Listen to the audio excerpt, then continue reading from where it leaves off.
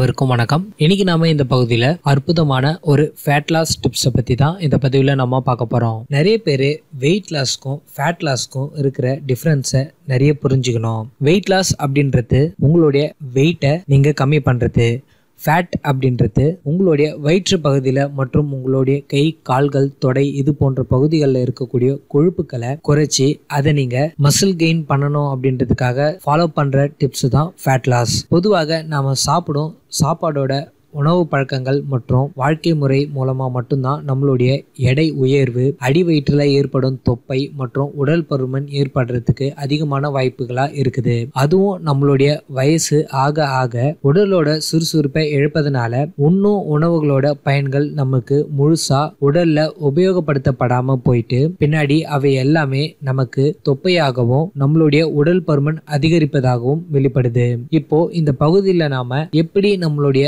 தொப்பையை குறைக்க பயன்படக்கூடிய ஒரு சின்ன டிப்ஸ் தான் இந்த பதிவில் நம்ம பார்க்க போகிறோம் இந்த பதிவை நீங்கள் முழுசாக பார்க்கறதுக்கு முன்னாடி இன்னும் நம்மளுடைய சேனலை சப்ஸ்கிரைப் பண்ணாதவங்க மறக்காமல் சப்ஸ்கிரைப் பண்ணிக்கோங்க.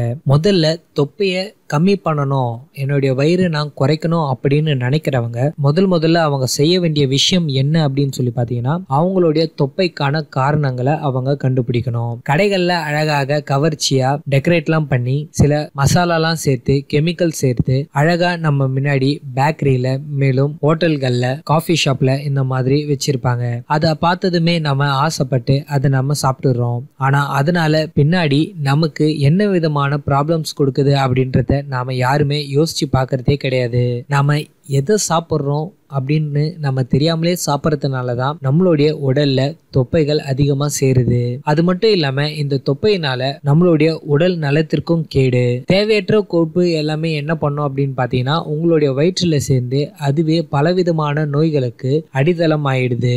உடலோட மற்ற பாகங்கள்ல தங்கும் கொழுப்பு மற்றும் தேவையற்ற கெட்ட கொழுப்புகள் உங்களுடைய வயிற்றுல சேர்வதனால இரத்த கொழுப்பு பிரச்சனை அதாவது கொலஸ்ட்ரால் இளநரை சின்ன வயசுலேயே உங்களுக்கு வெள்ளை முடி வரத்து முடி உதிர்தல் சக்கரை நோய் வாதம் இதய நோய்கள் அதுக்கப்புறமா சின்ன வயசுலேயே பெரியவங்க மாதிரி நம்மளுடைய தோற்றம் இருக்கிறது குடல்ல புண்ணு மாரடைப்பு வளர்ச்சிதை மாற்றம் அதாவது நம்மளுடைய மெட்டபாலிசம் குறைந்து ஆண்களுக்கு ஆண்மை இழப்பு ஏற்படும். பெண்களுக்கு கருத்தரிக்கும் பண்பை அது இழக்க வச்சிரும். மேலும் பலவிதமான நோய்களுக்கு தொப்பை ஒன்று மட்டுமே நம்மளுக்கு காரணமா அமையுது. அடி வயிற்றிலோ அப்படி இல்லைன்னா மற்ற ஏதாவது ஒரு பாகத்திலேயோ தங்கியிருக்கோம் கெட்ட கொழுப்பினை நீங்கள் குறைக்கணும். நீங்கள் சரியான உணவு பழக்கம் எடுத்தால் மட்டும்தான் இது கண்டிப்பாக உங்களால் முடியும். சரியான உணவுகளை நல்ல வாழ்க்கை முறையுடன் கூடி சாப்பிட்டதுனால உங்களுடைய மெட்டபாலிசம் அதிகரித்து சீக்கிரமே உங்களுடைய வயிற்றில் தங்கியிருக்கும் கெட்ட கொழுப்புகளை கரைத்து தொப்பையும் நீங்கள் ஈஸியாக குறைச்சிடலாம். அந்த வகையில் நம்ம இன்னைக்கு பார்க்க போகிற ரெண்டு டிப்ஸ் என்ன அப்படின்னு சொல்லி பார்த்தீங்கன்னா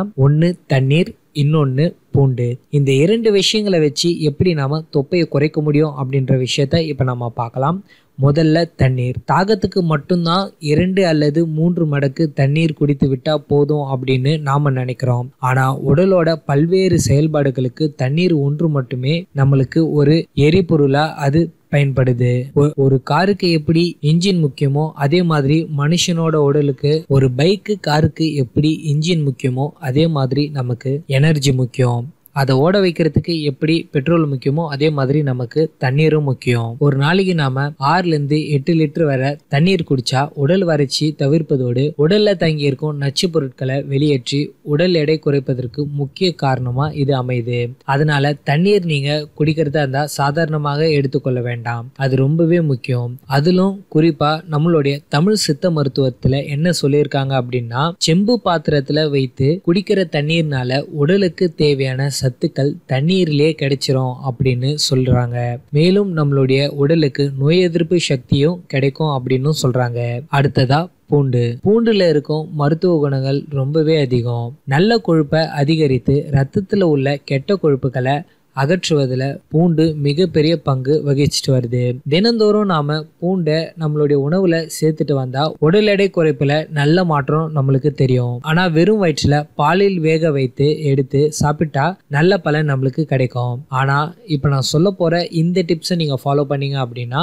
உங்களுக்கு இன்னும் எக்ஸஸாக உங்களுக்கு வெயிட் லாஸ் ஆகும். நம்ம சின்னதாக ஒரு கண்டெய்னர் ஒன்று எடுத்துக்கணும். அதில் நீங்கள் ஒரு பத்துலேருந்து இருபது தோல் உரிக்கப்பட்ட பூண்டுகளை போட்டு நல்லா கையால நல்லா இடிச்சு அந்த கண்டெய்னர்ல போட்டுடணும். இந்த கண்டெய்னர் மூழ்கிற அளவுக்கு கையால எடுக்கப்பட்ட தேனை ஊற்றணும். இந்த கண்டெய்னரை நல்லா க்ளோஸ் பண்ணிட்டு இருபதுல இருந்து ஒரு நாற்பது நாள் கழிச்சு பாத்தீங்க அப்படின்னா அது எல்லாமே தேன்ல நல்லா ஊறி இருக்கும். அவ ரெண்டையும் தினமும் காலையில வெறும் வயிற்றுல நீங்க சாப்பிட்டு வரீங்க அப்படின்னா உங்களுக்கு சீக்கிரமே ரத்தத்துல இருக்கிற கெட்ட கொழுப்புகள் அதாவது கொலஸ்ட்ரால் நீங்குவதோடு மட்டும் இல்லாம வயிற்றுல இருக்கும் தொப்பையும் உங்களுக்கு குறைக்க உதவுது. பல பேர் பாத்தீங்கன்னா சார் நீங்க சொல்றீங்க. நம்ம பூண்டு வெறும் வயிற்றுல சாப்பிட்டா இஞ்சி வெறும் வயிற்றுல சாப்பிட்டா நம்மளுக்கு தேவையில்லாத பிரச்சனை புண்கள் உடல்ல பாதிப்பு தான் ஏற்படும் அப்படின்னு சொல்லிட்டு நிறைய பேர் சொல்றீங்க. அது உண்மைதான். ஆனா நாங்க அதை எப்படி எடுக்கணும் அப்படின்னு சொல்லிட்டு சொல்றோன்றதைய நீங்க கவனத்துல வச்சுக்கணும்.